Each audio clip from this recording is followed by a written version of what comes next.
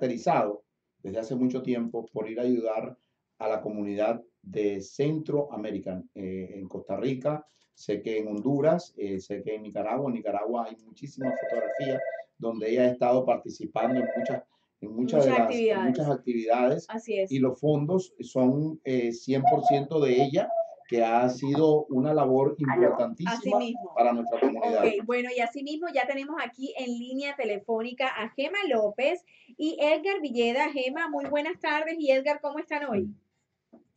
Hola, hola, Wendy, ¿cómo estás? Bueno, muy bien, muy, muy contenta.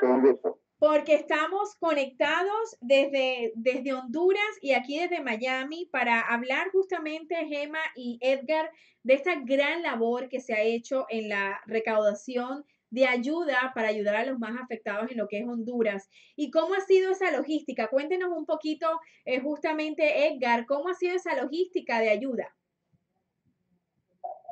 Bueno, eh, primero que todo, muchísimas gracias por, por invitarnos a, a participar y a contar un poco de nuestro testimonio, lo que hemos vivido acá en Honduras. Eh, como ustedes saben, pues Honduras ha sido batido por uno de los mayores desastres, naturales en su historia. Eh, bueno, todo empieza porque, eh, bueno, yo recibí unas ayudas de, de Estados Unidos, empecé a repartir algunas bolsas con comida. Y Gemma se contactó conmigo. Entonces, eh, conocí a Gemma, muy linda, por cierto, una persona. Y ella, pues, se preocupó mucho por, por lo que estábamos pasando acá. No sé si ustedes han visto alguna de las, de las imágenes. Sí, En Honduras, pues, ha- han, han habido comunidades enteras, eh, pues, inundadas. Hay imágenes donde solo se miran los techos de las casas. Eh, muy parecido a lo que pasó, de hecho, en, en Nueva Orleans con, con Katrina en el 2005. Con gente que, que tuvo que ser rescatada en helicóptero, eh, gente arriba de sus techos.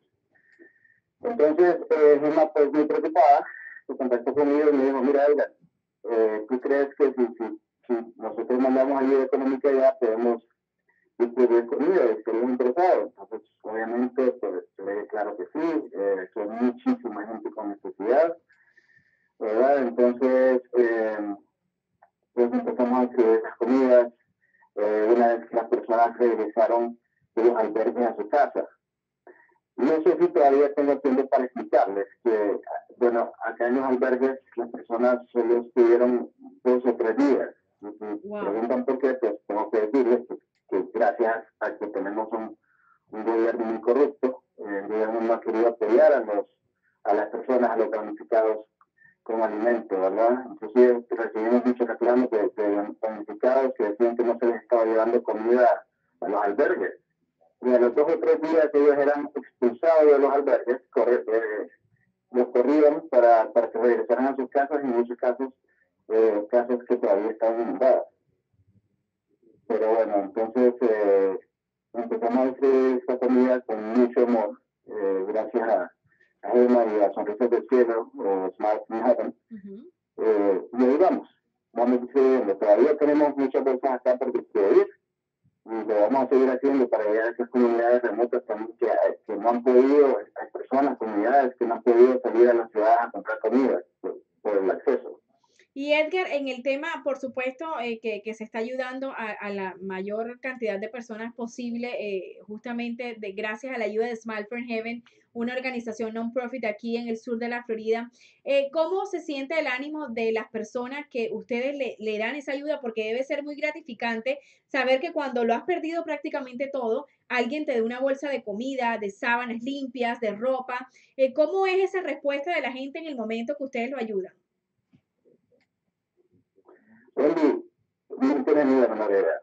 Esto es, se me pone la, la, piel de gallina ahorita que, me hace revivir esos momentos, porque es impresionante la gente llorando, agradecidísima, la gente eh, que lo abraza a uno y, le dice que gracias, que, que los, bueno, puedo mandarte videos donde la gente nos, nos dice, oigan, eh, eh, mira, aquí los políticos han llegado. Los políticos no nos vienen a ayudar, es el primero que llega. Sí, wow, Y es, eso. y es, sí es emocionante, pero al mismo tiempo, mira, te lo voy a explicar así, hombre. Yo cuando empecé, cuando empecé esto, yo pensé que iba a ser muy feliz para mí. Pensé que iba- a sentir muy bien al llevar esta comunidad. Y no, para serte franco, estado más consternados que otra cosa. Porque regresar de las comunidades siempre hay gente que necesita más. Nunca puedo llevar suficiente para todos.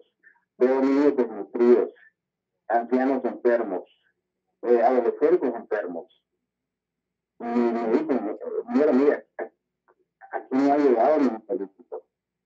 Entonces sí hay gente todavía con mucha necesidad, que, necesita todos los medicamentos, que necesita comida, que necesita más que cualquier otra cosa empleo.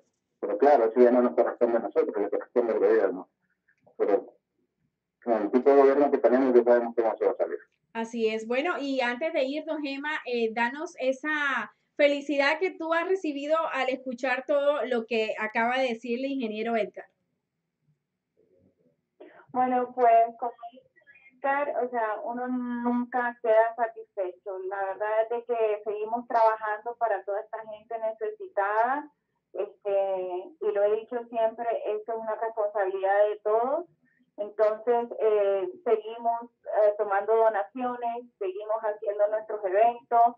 El próximo evento es el 20 de, diciembre, que haremos una venta de comida de, de unas deliciosas hallacas venezolanas y de un relleno nicaragüense que, que se come mucho en estas fechas. Entonces, necesitamos que la comunidad siempre nos apoye para poder seguir ayudando a nuestra gente en Honduras y en Nicaragua. Bueno, y estamos muy contentos y de verdad que quiero felicitar a Smile from Heaven y a Gema y a todo su equipo y también la labor que está haciendo el ingeniero Edgar Villeda allá en, en Honduras por seguir motivados a la recolecta, ayudar, porque como lo dijo Edgar, ni el propio gobierno ha llegado a esas áreas que ustedes como fundación han podido llegar con esa ayuda desde aquí del sur de la Florida. Muchísimas gracias a ti, Wendy, y agradezco, quiero agradecer este, a, a Edgar porque la verdad es que nos ha ayudado, nos ha dado un gran apoyo a la fundación sin ningún tipo de, de beneficio. Este, él ha ido a todas las comunidades que son a tres horas de, de su casa, en, en unos caminos bastante difíciles de entrar. Así que muchísimas gracias, Edgar, por tu apoyo y, obviamente a ti, Wendy, a Giovanni, como siempre, y a Kids por darnos la oportunidad. Claro que sí. Bueno, y antes de irnos, Gemma, aprovecho para invitarlos a todos ustedes el 13 de diciembre, domingo, porque vamos a estar dando los juguetes a los niños que se han inscrito y a las familias que nos han llamado, que todavía tenemos las inscripciones abiertas, para que se lleven ese juguete nuevo a, a su casa en estas navidades, porque hay que tener ese espíritu a pesar de todo lo que esté ocurriendo. Claro que sí, tendrás todo nuestro apoyo como siempre. Muchas gracias y gracias a los dos por este contacto desde Honduras y desde aquí de Miami. Seguiremos siempre apoyando estas buenas causas porque nuestra comunidad lo necesita. Muchas gracias a los dos. Muchas gracias. gracias. Gracias. Bueno, y es importante, Giovanni, escuchar, estábamos en directo con, en, en Honduras eh, con el ingeniero Edgar Villeda, que justamente qué bonito es escuchar que dice, la ayuda que nos ha llegado del sur de la Florida, de Smile for Heaven, ha llegado y ni siquiera el gobierno aquí ha llegado donde ellos han llegado. Entonces, qué bonito saber que sí se está recibiendo esa ayuda. Bueno, déjame decirte que Gema ha trabajado muy, muy duro con todo su staff para que recolectar, recolectar dinero, han hecho comida, han distribuido comida, eh, han hecho muchísimas cosas porque Gema lo vive. Gema, Gema siente la necesidad. Nosotros hemos estado en, muchos, en muchas ocasiones eh, con Gema y Gema es una persona incondicional para ayudarnos y poder hacer que todos estos eh, sueños de nosotros se hagan realidad y sobre todo, por ejemplo, esa gente que tanto necesita. Y muy interesante, Wendy, lo que decía, eh, desgraciadamente en los países de uno, la mayoría de las personas eh, esperan la ayuda del gobierno porque el gobierno es llega. el que tiene el absoluto control uh -huh. de todo. Y desgraciadamente en esas comunidades no, no llega, no hay acceso.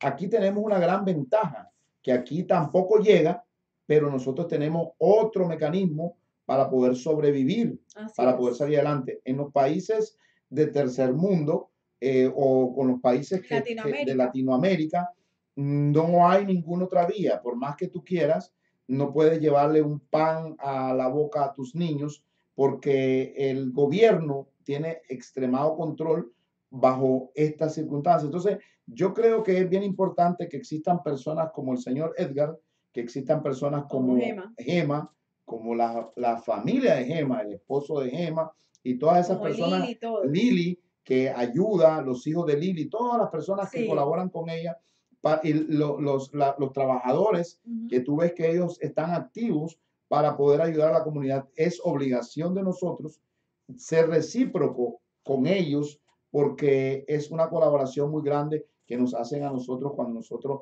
hacemos nuestros eventos. Así es, así que muchas gracias por esa intervención.